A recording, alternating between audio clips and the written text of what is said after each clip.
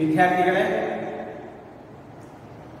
ನಿಮಗೆಲ್ಲ ನಮ್ಮ Vidyaranya P U ಕಾಲೇಜಿಗೆ ಹಾರ್ದಿಕವಾಗಿ ಸ್ವಾಗತವನ್ನು ಕೋರ್ತೇನೆ ಅಂದರೆ ನೀವು ನಮ್ಮ ಕಾಲೇಜಲ್ಲಿ ಫಸ್ಟ್ ಇಯರ್ ಪಿ ಸಿಗೆ ಅಡ್ಮಿಷನ್ ಪಡೆದಿದ್ದೀರಾ? ಈ ವೇಳೆಗೆ, ಅಂದರೆ ಇದೇನು ಸೆಪ್ಟೆಂಬರ್ ತಿಂಗಳಿದೆಯಲ್ಲ, ಇಷ್ಟೊತ್ತಿಗೆ ಕ್ಲಾಸಸ್ ರೆಗ್ಯುಲರ್ ಆಗಿ ಪ್ರಾರಂಭ ಆಗಬೇಕಾಗಿತ್ತು ಆದರೆ ಈ ಕರೋನಾ ಅನ್ನೋ ಒಂದು ಸಮಸ್ಯೆಯಿಂದಾಗಿ ಕಾಲೇಜಿನ ಚಟುವಟಿಕೆಗಳು ಇನ್ನೂ ಪ್ರಾರಂಭ ಆಗಿಲ್ಲ. ನೀವು ಕೂಡ ಕ್ಲಾ- ಕಾಲೇಜಿಗೆ ಬರಲಿಕ್ಕೆ ಪ್ರಾರಂಭಿಸಿಲ್ಲ. ಬಹುಶಃ ಇನ್ನು ಕೆಲವೇ ದಿನಗಳಲ್ಲಿ ಕಾಲೇಜು ಪ್ರಾರಂಭ ಆಗುತ್ತೆ. ಅಲ್ಲಿವರೆಗೂ ನಾವು ನಿಮ್ಮನ್ನ ಆನ್ಲೈನ್ ಕ್ಲಾಸ್ಗಳಲ್ಲಿ ಎಂಗೇಜ್ ಇಡಲು, ಅಂದರೆ ನೀವೇನು ನಮ್ಮ ಕಾಲೇಜಿಗೆ ದಾಖಲಾಗಿದ್ದೀರಲ್ಲ, ನಿಮಗೆ ಪಠ್ಯ ವಿಷಯವನ್ನು ಬೋಧನೆ ಮಾಡುವ ಸಲುವಾಗಿ ನಾವು ಆನ್ಲೈನ್ ಕ್ಲಾಸಸನ್ನು ಮಾಡ್ತಾ ಇದ್ದೀವಿ. ಈಗ already second year P U C ವಿದ್ಯಾರ್ಥಿಗಳಿಗೆ ಆಗಸ್ಟ್ ತಿಂಗಳಿಂದನೂ ಕೂಡ ಆನ್ಲೈನ್ ಕ್ಲಾಸಸ್ ನಡೀತಾ ಇದೆ. ಈಗ ಪ್ರಥಮ ಪಿ ಯು ಸಿ ವಿದ್ಯಾರ್ಥಿಗಳು ನೀವೇನಿದ್ದೀರಲ್ಲ ನಿಮ್ಮದು ಕೂಡ ವಾಟ್ಸಪ್ ಗ್ರೂಪ್ ಮಾಡಿದ್ದೀವಿ. ನಿಮಗೂ ಸಹ ಇನ್ನು ಮುಂದೆ ಆನ್ಲೈನ್ ಕ್ಲಾಸ್ಗಳನ್ನು ಪ್ರಾರಂಭ ಮಾಡಲಾಗುತ್ತೆ ಅದಕ್ಕೂ ಮೊದಲು ನನ್ನನ್ನು ನಾನು ನಿಮಗೆ ಪರಿಚಯನೇ ಮಾಡಿಕೊಳ್ಳಿಲ್ಲ. ನನ್ನ ಹೆಸರು ಎಚ್ ಸತೀಶ್ ಅಂತೇಳಿ ವಿದ್ಯಾರಣ್ಯ ಪಿ ಯು ಕಾಲೇಜಲ್ಲಿ ಶಿಕ್ಷಣಶಾಸ್ತ್ರ ಉಪನ್ಯಾಸಕ ಆಗಿದೆ. ಶಿಕ್ಷಣಶಾಸ್ತ್ರ ವಿಷಯವನ್ನು ಬೋಧನೆ ಮಾಡತಕ್ಕಂಥ ಉಪನ್ಯಾಸಕ ನಮ್ಮ ಕಾಲೇಜಲ್ಲಿ ಒಟ್ಟು ಮೂರು ಕಾಂಬಿನೇಷನ್ ಇದ್ದಾವೆ ಸೈನ್ಸ್ ಇದೆ ಕಾಮರ್ಸ್ ಇದೆ, ನಂತರ ಆರ್ಟ್ಸ್ ಇದೆ. ಆರ್ಟ್ಸ್ನಲ್ಲಿ ನಾವು ಪುನಃ ಎರಡು ಸಂಯೋಜನೆಗಳನ್ನು ಒಳಗೊಂಡಿದ್ದೀವಿ. ಒಂದು ಎಕನಾಮಿಕ್ಸ್ ಇರತಕ್ಕಂಥ ಇನ್ನೊಂದು ಶಿಕ್ಷಣ ಶಾಸ್ತ್ರ ವಿಷಯ ಇರ್ತಕ್ಕಂಥ ಮತ್ತೊಂದು ಸಂಯೋಜನೆ. ಒಟ್ಟಾರೆ ಕಲಾ ವಿಭಾಗದಲ್ಲಿ ಎರಡು ಸಂಯೋಜನೆಗಳಿದೆ. ಒಂದು ಎಕನಾಮಿಕ್ಸ್ ಇರ್ತಕ್ಕಂಥದ್ದು, ಇನ್ನೊಂದು ಶಿಕ್ಷಣ ಶಾಸ್ತ್ರ ವಿಷಯವನ್ನು ಒಳಗೊಂಡಿರ್ತಕ್ಕಂಥ ಸಂಯೋಜನೆ. ನಾವು ವಿದ್ಯಾರ್ಥಿಗಳನ್ನು ಸುಲಭವಾಗಿ ಐಡೆಂಟಿಫೈ ಮಾಡೋದಕ್ಕೋಸ್ಕರ ಏನು ಮಾಡ್ತೀವಿ ಅಂದರೆ ಎಕನಾಮಿಕ್ಸ್ ನೋಡೋರಿಗೆ ಆರ್ಟ್ಸ್ ಹುಡುಗರು ಅಂತೇಳಿ ಸಬ್ಜೆಕ್ಟ್ ತಗೊಂಡಂಥವ್ರಿಗೆ ಎಜುಕೇಷನ್ ಸ್ಟೂಡೆಂಟ್ಸ್ ಅಂತೇಳಿ ಕರಿತೀವಿ. ಎರಡೂ ಒಂದೇ. ಅವರು ಕೂಡ ಆರ್ಟ್ಸು ನೀವು ಕೂಡ ಎಜುಕೇಶನ್ ತೆಗೆದುಕೊಂಡಿರ್ತಕ್ಕಂಥ ವಿದ್ಯಾರ್ಥಿಗಳು ಆರ್ಟ್ಸೇ ಬರ್ತಾರೆ. ಬಟ್ ನಮ್ಮ ಒಂದು ಈಸಿ ಐಡೆಂಟಿಫಿಕೇಶನ್ ಮತ್ತು ನಮ್ಮ ಸೇಕ್ ಆಫ್ ಅಡ್ಮಿನಿಸ್ಟ್ರೇಷನ್ ನಾವು ಎಜುಕೇಶನ್ ಕಾಂಬಿನೇಷನ್ ಸ್ಟೂಡೆಂಟ್ಸ್ ಅಂತೇಳಿ ಕರಿತೀವಿ. ನೀವೇನು ಎಜುಕೇಷನ್ ವಿಷಯವನ್ನು ಆಯ್ಕೆ ಮಾಡ್ಕೊಂಡಿದ್ದೀರಲ್ಲ, ಸಹಜವಾಗಿ ನಿಮ್ಗೊಂದು ಪ್ರಶ್ನಾರ್ಥಕ ಚಿಹ್ನೆ ಬರುತ್ತೆ. ಎಜುಕೇಷನ್ ತಗೊಂಡ್ರೆ ಮುಂದೆ ಏನು ಮಾಡಬಹುದು ಅಂತೇಳಿ. ಬಹಳಷ್ಟು ಅನುಕೂಲ ಇದೆ.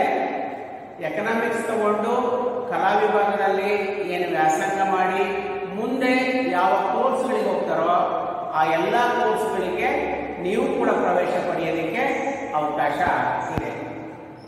ಅದಕ್ಕಿಂತ ಹೆಚ್ಚುವರಿಯಾಗಿ ನೀವು ಶಿಕ್ಷಣ ವಿಷಯವನ್ನು ಆಯ್ಕೆ ಮಾಡಿಕೊಂಡಿರೋದ್ರಿಂದ ಮತ್ತೊಂದು ಎರಡು ಅಡ್ವಾಂಟೇಜಸ್ ಅಂತ ಹೇಳಿದರೆ ಪಿ ಯು ಸಿಯ ನಂತರ ನೀವು ಡಿಗ್ರಿನಲ್ಲೂ ಕೂಡ ಎಜುಕೇಷನ್ ವ್ಯಾಸಂಗ ಮಾಡಬೇಕು ಅಂತಂದ್ರೆ, ಎಜುಕೇಷನ್ ಡಿಗ್ರಿನಲ್ಲಿ ಇರ್ತಕ್ಕಂಥ ಕಾಲೇಜುಗಳು ಕೂಡ ಧಾರವಾಡದಲ್ಲಿದ್ದಾವೆ.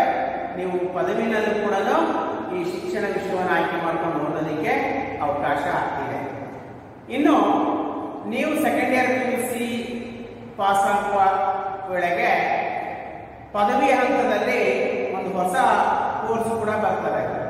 ಈಗೆಲ್ಲ ಬಿ ಎ ಇರ್ಬೋದು ಬಿ ಎಸ್ ಸಿ ಇರ್ಬೋದು, ಅವು ಮೂರು ವರ್ಷದ ಪದವಿಗಳು ಇದ್ದಾವೆ ಬರುವ ದಿನಗಳಲ್ಲಿ ನಾಲ್ಕು ವರ್ಷದ ಪದವಿಯನ್ನ ಸರ್ಕಾರ ಮಾಡಲಿದೆ. ಕೇಂದ್ರ ಸರ್ಕಾರದ ಎನ್ ಸಿ ಟಿ ಇ ಅಂದ್ರೆ national council for teachers education ಅವರ ಒಂದು ರೆಕಮೆಂಡ್ ಮೇಲೆ ಪದವಿಯ ಹಂತದಲ್ಲಿ ನಾಲ್ಕು ವರ್ಷದ ಇಂಟಿಗ್ರೇಟೆಡ್ ಕೋರ್ಸ್ ಪ್ರಾರಂಭ ಮಾಡಿದ್ದಾರೆ. ಅಂದ್ರೆ ಈಗೆಲ್ಲ ವಿದ್ಯಾರ್ಥಿಗಳು B A B S C ಪದವಿಯನ್ನ ಪಡಿತಾ ಇದ್ದಾರೆ ಮೂರು ವರ್ಷಗಳ ಪದವಿ. ಅದು integrated B Ed integrated D course ಬಂದ ನಂತರ ಏನಾಗ್ತದೆ ಅಂದ್ರೆ ನಾಲ್ಕು ವರ್ಷಗಳ ಪದವಿ ಆಗ್ತದೆ. ಒಮ್ಮೆ ಡಿಗ್ರಿಗೆ ಪ್ರವೇಶವನ್ನು ಪಡೆದ್ರೆ ಬಿ ಎ ಇ ಡಿ ಅಂದ್ರೆ ಬಿ ಎ ಬಿ ಎಡ್ ಒಟ್ಟಿಗೆ ಆಗುತ್ತೆ. ಅದೇ ತರನೇ B S C E D ಅಂದ್ರೆ ಬಿ ಎಸ್ ಸಿ ಮತ್ತು ಬಿ ಇ ಡಿ ಒಟ್ಟಿಗೆ ಆಗುತ್ತೆ. ಅದನ್ನು ನಾವು integrated B E degree course ಅಂತೇಳಿ ಕರಿತೀವಿ. ಸೊ ಹಾಗಾಗಿ ನೀವು ಪಿ ಯು ಸಿ ಹಂತದಲ್ಲಿ ಶಿಕ್ಷಣ ವಿಷಯವನ್ನ ಆಯ್ಕೆ ಮಾಡಿಕೊಂಡಿರೋದ್ರಿಂದ ಆ ಪದವಿನಲ್ಲಿ ಈ ವಿಷಯದ ಪ್ರಯೋಜನ ಅಥವಾ ಒಂದು ರೀತಿ ಇಲ್ಲಿ ಕಲಿತಂಥದ್ದು ಅಲ್ಲಿ ನಿಮಗೆ ಸಾಕಷ್ಟು ಅನುಕೂಲ ಆಗ್ತದೆ. ಇನ್ನು ಬಹುಶಃ ನೀವು ನಮ್ಮ ಕಾಲೇಜಿಗೆ ದಾಖಲಾಗಲಿಕ್ಕೆ ಬಂದಾಗ ಕಾಲೇಜಿನ ಮುಂಭಾಗದಲ್ಲಿ ಬ್ಯಾನರ್ ಹಾಕ್ಸಿರ್ತಕ್ಕಂಥದ್ದನ್ನ, ಫ್ಲೆಕ್ಸಿ ಬ್ಯಾನರ್ ಹಾಕ್ಸಿರ್ತಕ್ಕಂಥದ್ದನ್ನ ನೀವು ನೋಡಿರ್ತೀರ. ಅಲ್ಲಿ ದ್ಯಾಮವ್ವ ಬುದನೂರು ಅಂತೇಳಿ ninety one point three three percentage ಮಾಡಿದ್ದಾರೆ ಸೆಕೆಂಡ್ ಇಯರ್ ಪಿ ಯು ಸಿನಲ್ಲಿ ಆಕೆ ಕೂಡ ಶಿಕ್ಷಣ ಶಾಸ್ತ್ರ ವಿಷಯ ಇರತಕ್ಕಂಥ ಸಂಯೋಜನೆಯಲ್ಲಿ ವ್ಯಾಸಂಗ ಮಾಡಿರ್ತಕ್ಕಂಥ ವಿದ್ಯಾರ್ಥಿ. ಈ ಹಿಂದೆ, ಎರಡು ಮೂರು ವರ್ಷಗಳ ಹಿಂದೆ ಮೃತ್ಯುಂಜಯ ಕಬ್ಬೂರ ಅಂತೇಳಿ ಒಬ್ಬ ವಿದ್ಯಾರ್ಥಿಯಿಂದ ಅವನು ಸಹ ಶಿಕ್ಷಣ ಶಾಸ್ತ್ರ ವಿಷಯವನ್ನ ಆಯ್ಕೆ ಮಾಡಿಕೊಂಡಿದ್ದ. ಕಲಾ ವಿಭಾಗದಲ್ಲಿ ಅಂದ್ರೆ ಶಿಕ್ಷಣ ವಿಷಯವನ್ನ ಒಳಗೊಂಡಂತೆ ಕಲಾ ವಿಭಾಗದಲ್ಲಿ ನಮ್ಮ ಧಾರವಾಡ ಜಿಲ್ಲೆಗೆನೆ ಎರಡನೆಯ ವಿದ್ಯಾರ್ಥಿಯಾಗಿದ್ದಾರೆ. ಅಂದ್ರೆ ಇಡೀ ಧಾರವಾಡ ಡಿಸ್ಟ್ರಿಕ್ಟ್ಗೆನೆ ಸೆಕೆಂಡ್ ರ್ಯಾಂಕ್ ಅನ್ನ ಪಡ್ಕೊಂಡಿರ್ತಕ್ಕಂಥದ್ದನ್ನು ನಾವು ಕಾಣ್ತೀವಿ. ಸೊ ಸಾಕಷ್ಟು ವಿದ್ಯಾರ್ಥಿಗಳು ಈ ವಿಷಯವನ್ನು ಆಯ್ಕೆ ಮಾಡಿಕೊಂಡು ಉತ್ತಮವಾಗಿ ತೇರ್ಗಡೆ ಆಗಿರ್ತಕ್ಕಂಥದ್ದನ್ನು ಕೂಡ ನಾವು ಕಾಣ್ತೀವಿ ಪ್ರಾರಂಭದ ದಿನಗಳಲ್ಲಿ ನಿಮಗೆ ಇದೊಂದು ಹೊಸ ವಿಷಯ ಅಂತ ಅನಿಸುತ್ತೆ. ನಂತರ ನಿಮಗೆ ಸುಲಭವಾಗಿ ಅರ್ಥ ಆಗುತ್ತೆ ಕಲೀಲಿಕ್ಕೂ ಸಹ ಈಸಿ ಹಾಗೆಯೇ ಹೆಚ್ಚು ಅಂಕಗಳನ್ನು ಕೂಡ ಪಡೆಯಲಿಕ್ಕೆ ಸಾಧ್ಯ ಆಗ್ತದೆ. ಫಸ್ಟ್ ಇಯರ್ ಪಿ ಸಿನಲ್ಲಿ ಈ ಶಿಕ್ಷಣ ಶಾಸ್ತ್ರ ವಿಷಯದಲ್ಲಿ ಒಟ್ಟು ಹತ್ತು ಘಟಕಗಳು ಇದಾವೆ. ಟೆನ್ ಯೂನಿಟ್ಸ್ ಅಂತ ಪ್ರತಿಯೊಂದು ಯೂನಿಟ್ಸ್ ಕೂಡ ಬಹಳ ಚೆನ್ನಾಗಿರುತ್ತೆ. ಆ ಘಟಕಗಳು ಯಾವುದು ಅಂತಂದ್ರೆ, ಮೊದಲನೇ ಘಟಕ ಬಂದ್ಬಿಟ್ಟು ಶಿಕ್ಷಣದ ಪರಿಕಲ್ಪನೆ ಅಂತಿದೆ. ಅಂದ್ರೆ ಆ ಮೊದಲನೇ ಯೂನಿಟ್ ಅಲ್ಲಿ ನಾವು ಶಿಕ್ಷಣ ಎಂದರೆ ಏನು ಅಂತೇಳಿ ವ್ಯಾಸಕವನ್ನು ಮಾಡ್ತೀವಿ.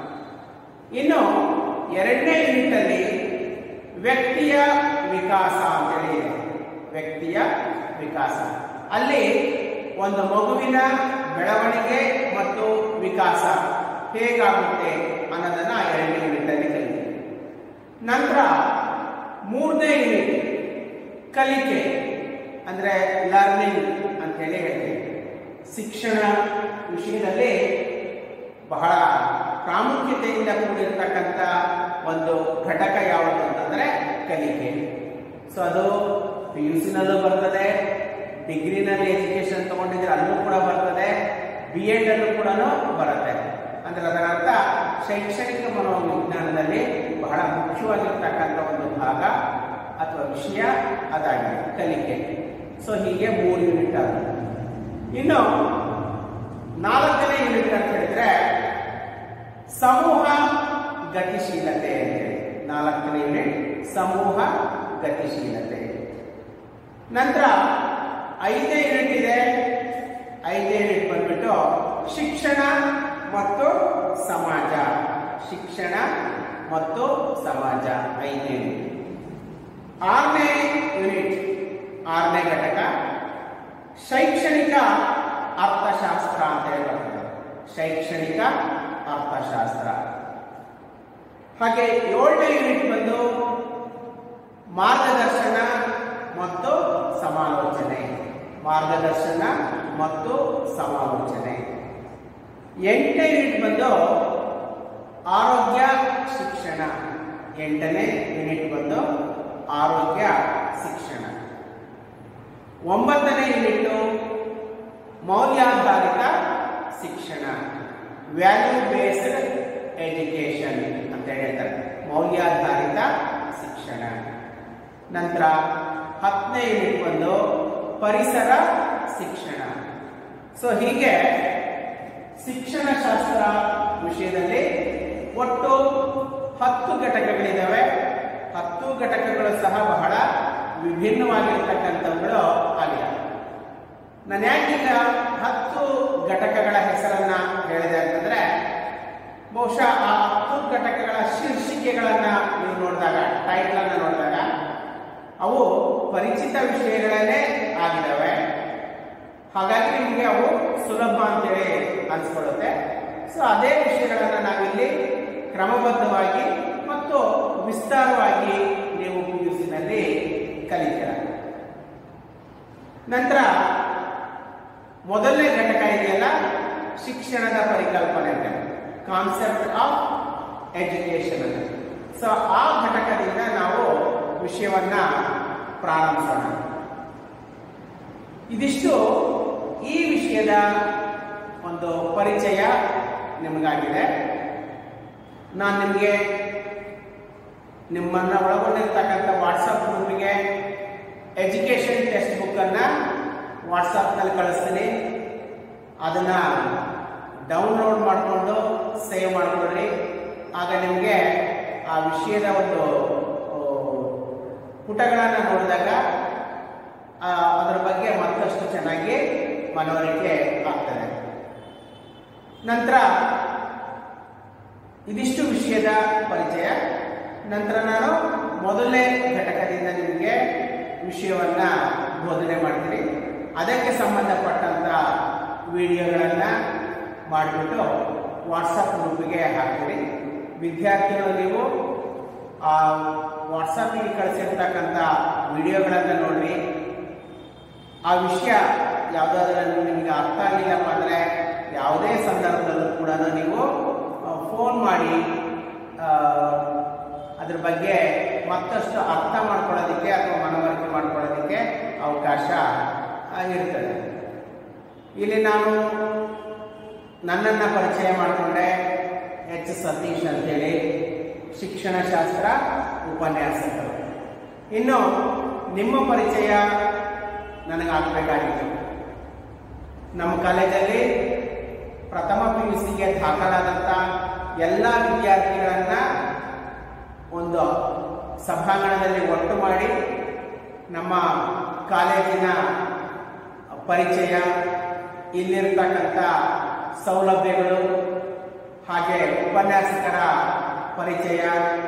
ಅವರ ಒಂದು ಸೇವಾ ಅನುಭವ ನೆಕ್ಸ್ಟು ನಮ್ಮ ಕಾಲೇಜಲ್ಲಿ ನಾವು ವಿದ್ಯಾರ್ಥಿಗಳಿಗೆ ಯಾವ ರೀತಿಯಾಗಿ ಎನ್ಕರೇಜ್ ಮಾಡ್ತೀವಿ ಇಷ್ಟೆಲ್ಲ ವಿಷಯವನ್ನ ಆ, ಒಂದು ಮೀಟಿಂಗಲ್ಲಿ ಪ್ರಸ್ತಾಪ ಮಾಡಿ ನಿಮಗೆ ತಿಳಿಸಿ ವಿಷಯಕ್ಕೆ ಹೋಗ್ತಾ ಇದ್ದೀನಿ ಬಟ್ ಹಾಗಂತೇಳಿ ನಿಮಗೂ ನಮಗೂ ಅಪರಿಚಿತರು ಅನ್ನೋ ಭಾವನೆ